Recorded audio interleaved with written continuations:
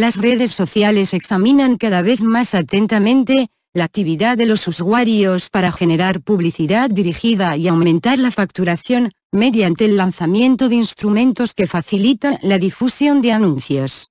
Facebook y Twitter tomaron este camino, mientras WhatsApp lo desdeña, aunque es el servicio de mensajería en Internet con mayor crecimiento, al menos hasta que cambie de manos y pase alguno de los grandes de la tecnología, como se rumorea periódicamente. Twitter lanzó con objetivo publicitario su Keyword Targeting, que analiza no solo lo que los usuarios leen sino también lo que escriben en sus tweets. Un poco a la manera de Google. La función permite a los anunciantes calibrar la publicidad de modo aún más preciso sobre los usuarios, mientras en estos genera sospechas de mayor avance sobre la vida privada, según publica el sitio Anse Latina. Sin embargo, la red social de microblogs se ataja. No será un instrumento de anuncios.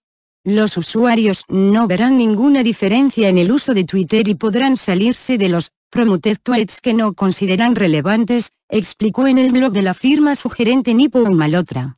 También recientemente Facebook lanzó, aunque solo en Estados Unidos, su nuevo servicio, Partner Categories.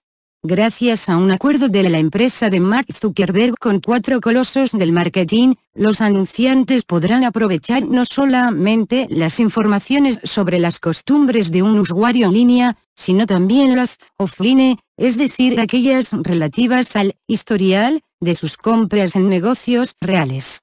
Ambos lanzamientos indican que las redes sociales apuntan cada vez más a monetizar la publicidad, porque el sector rinde. Las últimas previsiones, que se remontan a 2012, indican una rápida expansión. Según el Financial Times, que cruzó relevamientos de Marketer y Comscore, con los anuncios comerciales en 2014 Facebook alcanzará una facturación de 6,800 millones de dólares, frente a los 3,200 de 2011. En tanto Twitter llegará a los 808 millones, 140 en 2011. En esta situación, solo una voz se muestra disonante, es WhatsApp, que sigue la filosofía antipublicidad.